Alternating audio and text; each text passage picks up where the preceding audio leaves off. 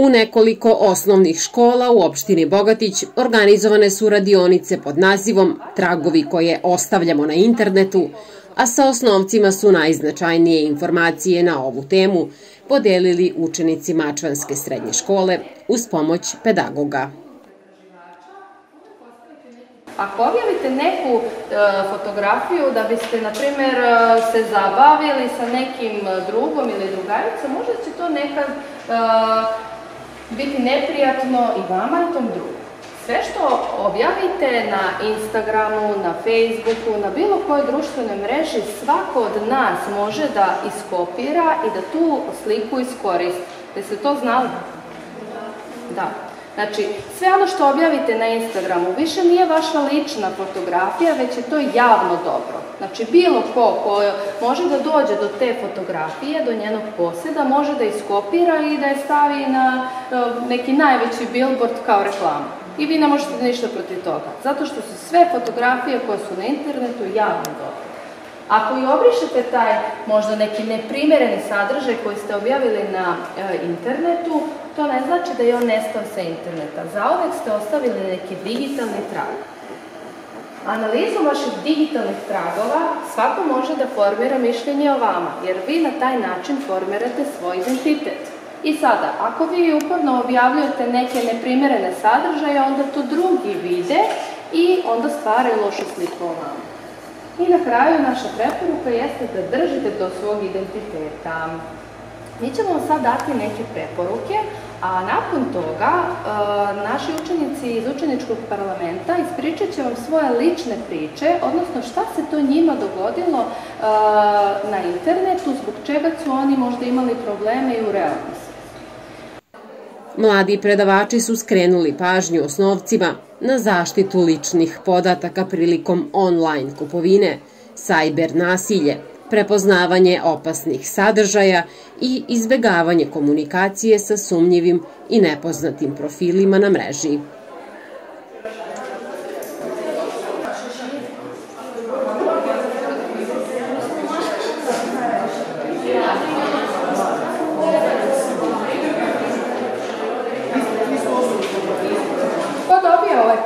sa aplikacijom Instagram. Treba da napiše ko e, da li je juče koristio da li je objavio fotografiju, da li je stavio neku objavu i koliko drugi zadatak je koliko vremena vi prosečno provedete na e, telefonu. E, igramo igricu Roblox. Roblox, dobro. A da li kada igrate igricu Roblox, upisujete svoje podatke? Neku šifru, ime, kako se zovete, kada ste rođene? Da, mi smo pravo. Dobro, to je pametno, da ne pišete prave na svoje rođene. Koristimo Instagram. Dobro. I? Koristili smo juče, ali na već po pet minuta. Samo pogledam neke objave i to Dobro, a koliko ste u toku večerašnjeg dana koristili mobilni telefon? Za igranje igrica, za Instagram, za poruke?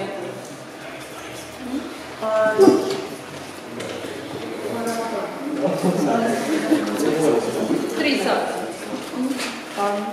Malo, malo. Malo. Hvala. Pa mi su pisali, ja sam pisao za sebe, a je pisao za sebe.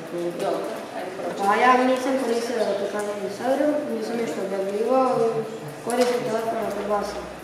Dobro, a šta najviše koristiš? Da li za igrica ili... Pa, manje više, ako slušam muziku. Preko YouTube-a? Da. Dobro. Izvoli. Nisam ništa objavljivala, ali sam ga koristila. Deset, dvadeset minuta. Dobro. Hvala ti. Neke snimke. Koliko prosečno provedeš vremena na telefonu? 30 minuta.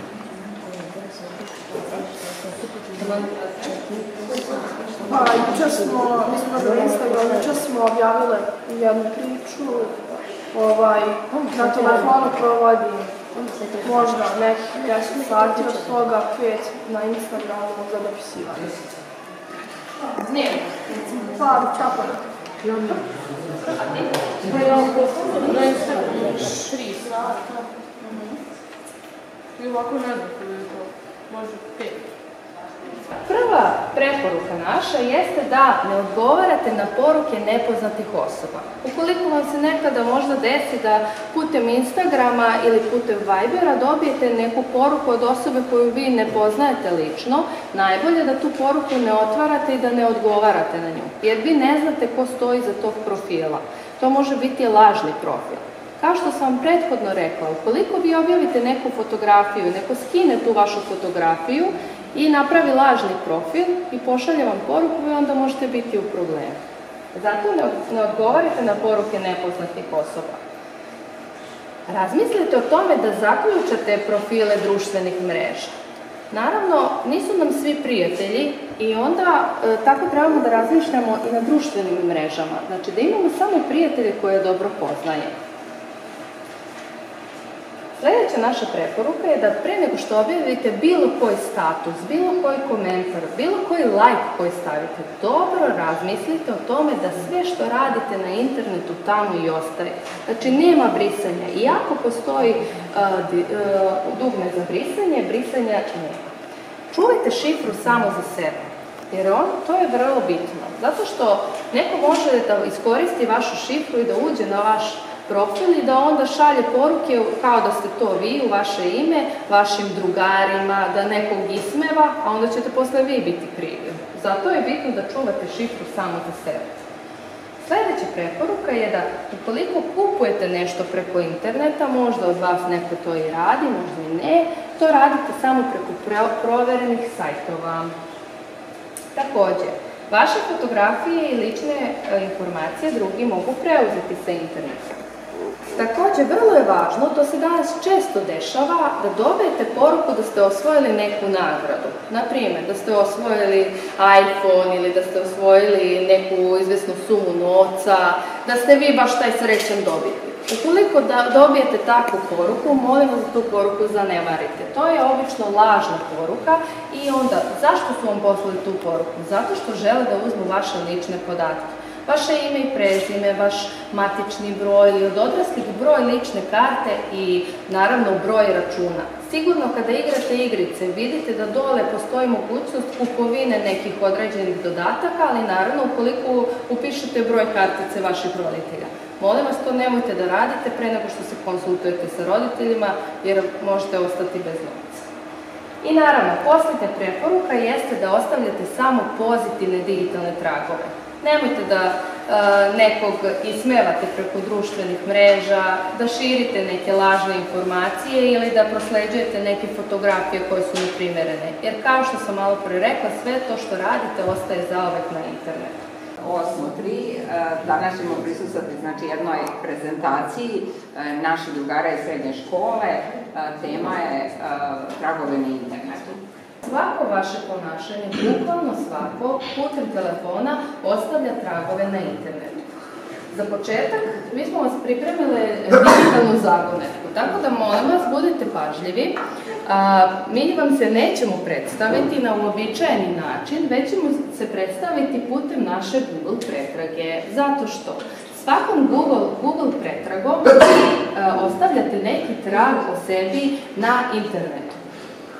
Vaš zadatak jeste da sada pogledate našu Google pretragu, koleginice i moje, i da pokušate da pogodite šta smo mi po profesiji. Može? Prva naša pretraga jeste vaspitanje. Jel neko ima ideju šta smo po profesiji? Nismo, ni direktor, ni učiteljica. Razgovor sa učenikom. Dobro. Saradnja sa roditeljima, malo poznatije, škola, radionice, moda. Vi ste u pravu, pogodili ste, mi smo po obrazovanju uh, pedagog, i psiholog, ajde da to kažem, stručna služba u srednjoj mačvanskoj školi. Kao što znate, mi dolazimo iz srednje mačvanske škole i danas smo pripremili ovu radionicu uh, za vas. Ovo su naši učenici iz treće godine, oni će vam se sada predstaviti da znate ko nam je danas ovdje. Izvolite. Ja sam Andrija Martinić, treća godina tehničkog predsavljaća, možete znati što sam ovdje u školu. Ja sam Ivana Todorović, isto treća godina, isti smjer, tehničar drumskog saobraćaja. Hvala. Kao što vi vidite ovdje, vi ostavljate svoje digitalne tragove kroz sve ove aplikacije koje svakodnevno koristite putem vaših mobilnih telefona. Da li prepoznajete ove aplikacije koje su ovdje? Samo vas molim da podignete ruku i da kažete koju aplikaciju. Evo ti kažeš da prepoznaš. Koju aplikaciju prepoznaš? Instagram. Dobro. Da li koristiš Instagram? Svakako. Dobro. Da li ti prepoznaješ neku aplikaciju koju vidiš? Koju?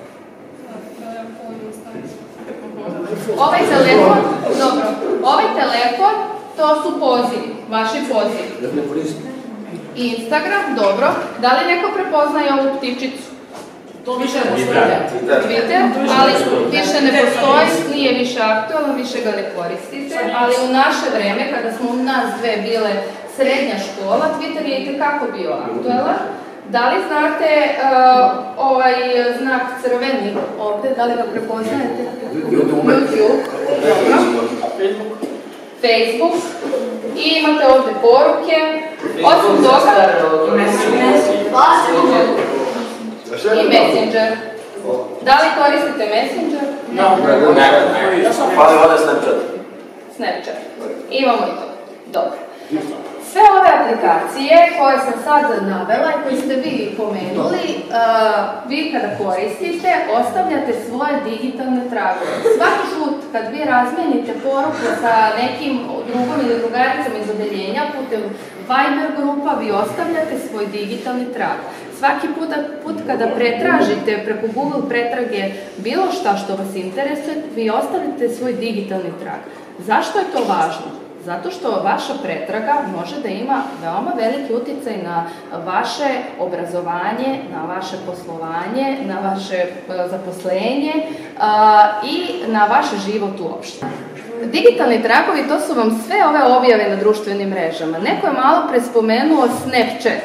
Da li koristite Snapchat? Da, Evo vidite, ovdje su sve aplikacije koje vi svakodnevno koristite. Da li možda koristite Pinterest? Ne. Ne? Ja koristim. I ja? Da li možda preko, kada se, kada se ulogujete preko telefona, da li koristite neku šifru? Da. Da, to je također digitalni trag. Da li igrate igricu Roblox? Da. Prije sam igrao. Imam 1200 Robuxa. Dobro. Znači, neki dalje igraju, a neki, nekima je ta igrica malo Sve to što sam sada navela, i šifre, i e, kada igrate igricu, svako vaše ponašanje na internetu ostavlja trag. Svi ti tragovi, znači Viber poruke, slike, kada šaljete slike međusobno, to sve ostaje negdje na internetu. Također, sve fotografije koje ste, koje ste objavili na društvenim mrežama, sve komentare koje ste stavili na društvenim mrežama, o tome postoji trag. E sada, recite mi, da li vi možete da izbrišete te tragove sa društvenih mreža? Ne. Da? Ne? Da. Kako se brišu? Zadržimo i izbrišemo. I to je to. Neko je rekao ne. Ali ostaje to opet. Pa to sam rekao. Evo, poslušaj, kako se zoveš? Pavle Maletić. Kako? Pavle Maletić. Pavle je u pravu. Svaki digitalni trag ostaje na mreži. Koliko god da se vi trudite da izbrišete sa vaših društvenih mreža fotografije ili neke neprimerene komentare i ako vama stoji u objavi da je to obrisano, o tome postoji digitalni trag. I u slučaju da se nađete u nekoj neprilici i da policija to istražuje, na primjer, oni vrlo lako mogu da uđu vama u trag i da vas pronađu. Jeste to znali? Jednom uneti podaci, oni se ne brišu i ostaju tu zauvek, iako se vama činilo da više ne postoje. Jednostavno u tom nekom delu tragovi vaši postoje i dalje. Sve javno dostupne informacije koje vi unesete, vaše šifre, šifre mobilnih telefona, šifre vaših društvenih mreža, sve su to digitalni trag. E sada, Sljedeća naša aktivnost jeste, podelit ćemo vas u grupe i dobit ćete određene zadatke. Vi ste dobili Ljudmilu. Što Vaš sljedeći zadatak jeste da istražite i napišete koje digitalne tragove ste ostavili u toku jučerašnjih dana. Molim vas, svako od vas je dobio jedan papirić sa aplikacijom. Pogledajte koja je aplikacija na vašem papiru. Ukoliko ste dobili, na primjer, aplikaciju Facebook, napišite uh, koje tragove ste ostavili na Facebooku. Recimo. Da, ko je dobio, ko je dobio ovaj papir, znači to su nam igrice, možda se poznajete ove logo igrica, znači vi napišite koje igrice ste igrali u toku jučerašnjeg dana. Nijednu igricu ne igrate. Evo. Daj.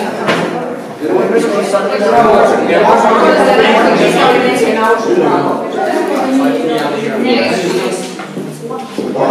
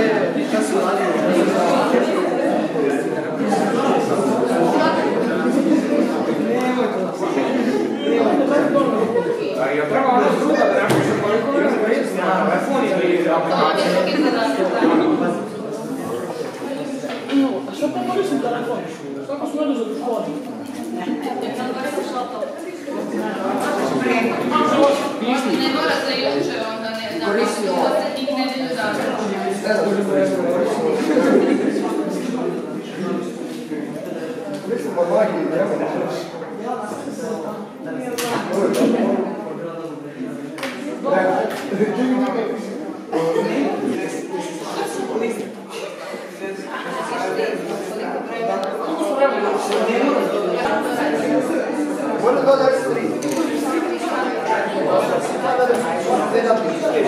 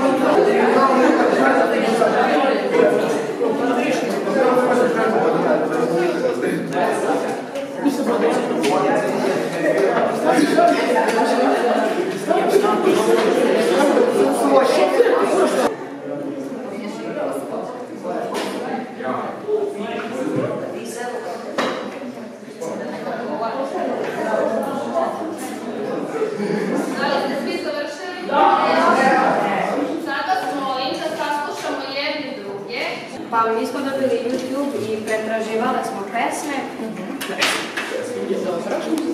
I kako napraviti kao neko jelo, na primjer kolač. I koristimo telefon oko 4 sata. Dnevno. Dnevno. Dobro, hvala vam. I za vas? Šta si ti dobio? Koji ti Za igrice. Dobro. Uh, ostavio sam broj telefona, e-mail, uh, a telefon koristim 4 do 5 sati dnevno. Da li telefon koristiš samo za igranje igrica ili za još nešto? Pa koristim, na primjer, za Molim vas da saslušamo jedni druge, doći ćete i vi ste ostali Mi smo dobili YouTube. Dobro. A, Jučer sam slušao muziku i gledao ne, neke... Ne znam, ne znam šta je kažem. Neki video zapis. Da, da. Dobro. I prosječno provodim cijelu noć, a nekada gledam i. A kako misliš cijelu noć? Dok se ne uspavaš ili dok... Ma ne spavam. Znači, nekoliko sati u toku noći e, koristiš mobil. Ja sam jučer pretraživao Masterchef kuću. Masterchef kuću sam jučer pretraživao. E, Prosječno, e, prosječno na dan provodim nekoliko sati.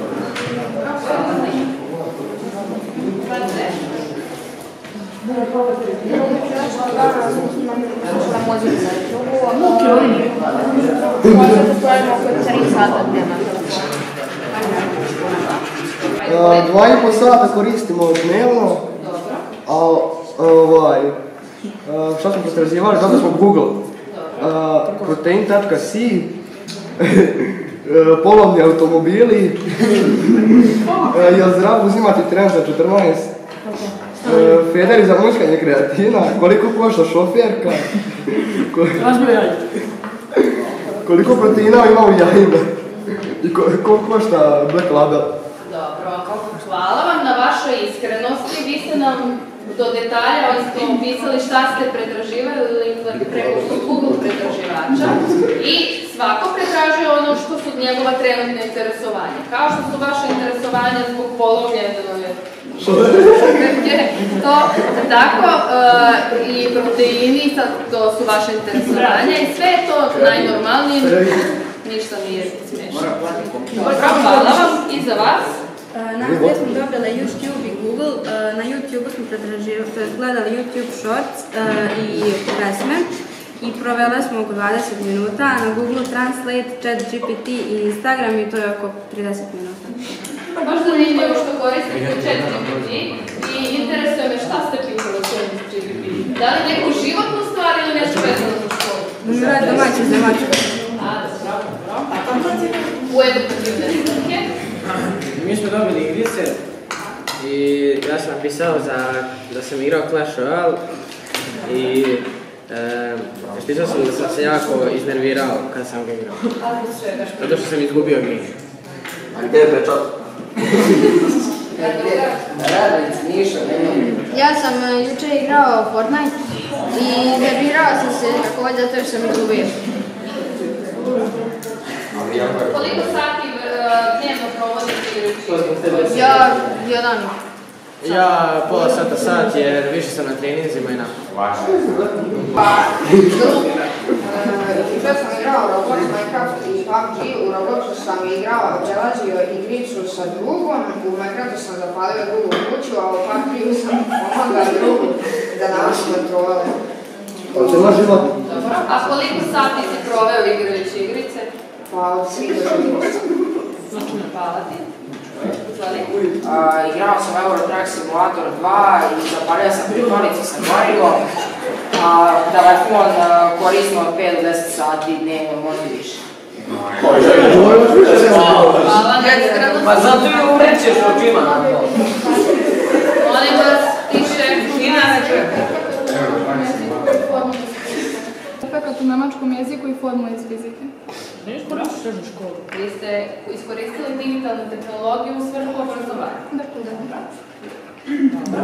Možete vi sad Pa ja sam dobila Google, pretraživala sam kako se prave palačinke i pretraživala sam knjige za engleske koje treba da nabavim. I ja sam dobila Facebook, e, pretraživala sam profil majke moje simpatije i brisala sam neke tatine objave i ostavljala neke komentare na objavama i na Facebooku sam provela oko pola sata. A zašto si brisala objave? Pa zato što mi se... su neprimerene pa si... Ne, neprimerene, nego izbacivao mene, a nije mi svidjelo. Jel vidite da i mi odrasli vrlo često grešimo kada koristimo digitalne tehnologije? E, zato da se vama, da vi ne biste ponovili te naše greške, mi danas ovdje pričamo o digitalnim tragovima. Izvolite. Mi smo dobili igrice, pa provodimo često na telefonu oko 4 sata dnevno. I igramo igrice, koristimo društvene mreže. Koje igrice igrate? Ja na primjer igram NBA, igram Fortnite.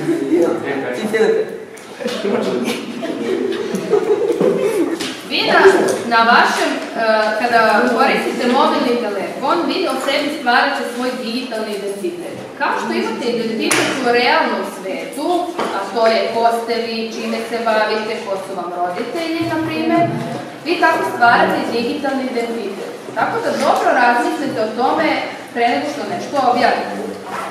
Možda će, ti nekada, možda će vam nekad biti neprijatno zbog toga što ste danas objavili kada budete odrasli. Da li znate da sve što vi objavite neko može da iskopira i da koristi za reklamu i da ne bude kažnjen uopšte zbog toga? Ja sam produšen, Da, znači svaku vašu fotografiju koju vi objavite, na primjer, na društvenim mrežama, a, to je javno dobro. Sve vaše fotografije su javno dobro i svako može tu fotografiju da iskoristi, na primjer, za snimanje neke reklame, za razne objave na internetu. Znači, vi ne možete ništa protiv toga da uradite. Zbog toga danas mi pričamo o digitalnim tragovima. Ako i, obje, ako i ob- obrišete taj neprimereni sadržaj ili neprimerenu objavu, to ipak ostaje na internetu. Također, analizom vaših digitalnih tragova, to je ovo što smo pričali, šta vi radite i pre, šta pretražujete preko Google-a, koje poruke šaljete preko Vibera, koje e, objave, e, koje imate objave preko Instagrama, Facebooka, šta lajkujete. Na osnovu toga, pomoću raznih algoritama, e, može se stvoriti vaš digitalni profil. E sad, zašto je to važno? Zašto je važno uopšte vaš digitalni profil? Zato što sutra kada vi budete odrasli ljudi, kada budete tražili neku, neki posao, vaš poslodavac može pre- pretraživati vaše digitalne profile. Može pretraživati šta ste to vi radili na internetu i kako ste se ponašali. Tako da, preporuka je da držite do svog digitalnog identiteta. Molim vas, nemojte da odgovarate na poruke jer vi ne znate ko stoji iza tog profila. Možete, nemojte uopšte da je otvarate. Na primjer, ukoliko vi vidite da je slika vašeg druga ili drugarice između i, i, e, iza tog profila koji vam šalje poruku, to može biti lažni profil. Kao što sam vam malo pre rekla, neko može da uzme vašu fotografiju i da o- o- e, to otvori novi profil na društvenoj mreži Instagram i onda da vam pošalje poruku. Tako da budite veoma obazrivi kada koristite društvene mreže. Također, razmislite o tome da zaključite, da zaključite društvene mreže. Da, da. Da li znate, da li su vaše društvene mreže zaključene? Ne. Ne. Zavisi. Meni nije. Tebi nije. Može bilo ko da ti bude prijatelj. Zavisi. Dobro. Kako zavisi? Mislite privatni, javni i privatni. Javni i privatni? da, da, imam i ja javno i privatno. E, to je baš zanimljivo. Zašto vam služi javni, zašto privatni? Privatni za... Privatni za slike koje ne smije javno za vidjeti. Dobro. To malo ide. Dobro. A e, javni? Za slike koje mogu Ali nema slike. Budite, budite obazrivi sa objavljivanjem fotografija, zato što ćete posle e, ovih preporuka čuti lične priče kako te vaše fotografije mogu da se iskoriste, a da to bude loše. A, Te fotografije, iako imate javni lični profil i ako te fotografije koristite u ličnom profilu, to je samo za vas nekoliko, svakako i ako ih izbrišete ili isteknu, one svakako ostaju tu za uvak, tako da bilo ko ih može naći. Nema veze što. Što se tiče šifre, čuvajte šifru samo za sebe. Nemojte da snimate šifru na e, drugim uređajima na kojima se, preko kojih se prijavljujete na društvene mreže. Na primjer, ukoliko e, se prijavite na neku društvenu mrežu kod drugara, drugarice, ne znam, bilo gde, nemojte tu šifru da snimate. Zato što neko može vrlo lako da vaš profil otvori i da iskoristi vaše podatke lične ili da šalje neke poruke i onda da vam pravi probleme na taj način. Zato čuvajte šifru samo za sebe. Također postoje i aplikacije koje sadrže računari, odnosno vi kada se ulogujete kod nekoga na računar, vi ne znate, ne vidite jednostavno tu aplikaciju, ali svakako vaši podaci, vaša šifra, e, vaš mail, to ostaje tu. I znači ta osoba čiji je računar može kada god u određeno vreme da pristupi vašim podacima. Također, što se tiče igrica, znači preporuka je, pošto znam da vrlo često deca kupuju određene dodatke kada igraju igrice, to radite preko proverenih sajtova. Najbolje je da ne radite, ali ukoliko uh, kupujete, onda to radite preko proverenih sajtova. Zbog čega? Zato što vrlo često ljudi žele da vas prevare i da na taj način uzmu novac od vas, ali za uzvrat ne dobijete apsolutno ništa. Tako da molim vas vodite računa kada e, da ne kucate e, broj kreditnih kartica vaših roditelja, ukoliko to vam i dozvole, radite uvek u njihovom prisustvu. E sad, za kraj ove naše radionice današnje, e, mi smo vama pripremili lične priče i čućete neke praktične primjere, odnosno neka lična iskustva šta se to desilo nama ili našim učenicima zato što smo bili nesmotreni i nismo pazili i nismo uh, vodili računa o tome kakve digitalne tragove ostavljamo na internetu. Evo, ja bih zamolila naše učenike da ispričaju priču koju su dobili. Hoćeš ti prvo? Znači, ja, poslušajte Andriju. kad sam bio u osnovnoj školi, recimo 12-13 godina, ja sam s tim mailom sam išao svugdje, da nisam na koje sajtove, što ne treba da radite, logično. I meni je na mail stiglo da sam ja svoj iPhone. Šta sad? Mali, pogledao, mislio sam da je pravo, tražilo je podatke, kad ja rekao za svaki slučaj, ajde s bratom da proverim. I sva sreća da sam proverio, pošto logično bilo lažno, samo bi uzeli podatke i sve to. Tako da molim vas, kad tako nešto radite, prvo provjerite sa nekim starijim koji ima više iskustva nego vi, da ne nagrabusite. Kako sam ja? E sada, naša, naša sljedeća lična priča je... Evo, slušajte da se ulogujete, na primjer, na Instagram ili bilo šta, čak i Gmail, na, na uređaj nekog drugog e, druga ili neke osobe, morate da se uverite da ste izbrisali zapravo taj vaš profil, da ne bi ta osoba mogla ponovo da uđe u njega. Ovaj, imala sam poverenje u jednu drugaricu i normalno stavila sam svoj telefon jednostavno na stolu i dok ja nisam bila tu, ona je uzela moj telefon, ušla je na Face i objavila je neki neprimeren status. Naravno, svi iz odeljenja su videli taj status i škole inače i svi su se smejali. Ja nisam znala o čemu se radi, izađem na hodnik, svi me gledaju i smeju se. Ja gledam šta se dešava i jednostavno e, kada sam ušla i videla te silne lajkove i komentare, bilo mi je jasno sve o čemu se radi. Na kraju sam saznala da mi je tu uradila ta najbolja drugarica, tako da pouka ove priče ne verujte svojim prijateljima, ne ostavljajte im svoje podatke, telefone ili bilo šta slično. Tako da e, može se i vama desiti nešto slično, nadam se da ne, ali to je moja priča. Šifru godinima šifru. Evo još jedna priča koja se desila u toku prošle godine. Moj kolega sa posla je naravno imao profil na društvenoj mreži Facebook i ono što se njemu desilo jeste da je neko hakovao profil njegovog najboljeg druga. Video je njihovu prepisku i nastavio prepisku sa njim. Nakon toga je ta osoba koja je stajala iza tog profila, koji naravno nije bio njegov drug nego neko ko je želeo da uzme njegove podatke, je zatražio od njega da mu pošalje lične podatke, podatke iz lične karte. Jer mu je trebalo hitno, našao je neki određeni razlog. On je naravno poverovao da je to njegov najbolji drug i poslao mu sliku lične karte, poslao mu svoje lične podatke. Nakon toga je i njegov uh, profil na Facebooku također hakovan i ta osoba je uh, onda počela da objavljuje neke sadržaje reklamnog tipa, da reklamira određenu firmu. Znači, postoje različiti ljudi koji se samo time bave, koji hakuju vaše profile zbog čega? Zato što vi imate na vašim profilima veliki broj pratilaca. Povezani ste sa različitim e, profilima ljudi i onda na taj način može da dođe do većeg broja ljudi. Zbog toga se dešava vrlo često da vaši profili budu hakovani. Zato vam i kažemo, nemojte da ostavljate vaše lične podatke, šifre, da se to ne bi desilo i vama sutra u praksi. I zaključak svega ovoga je da je internet bezbedan onoliko koliko ga vi učinite je. I neka vaši digitalni tragovi još jednom uvek budu pozitivni, znači uvek ostavljate drugovima lepe poruke bez nasilja. Hvala.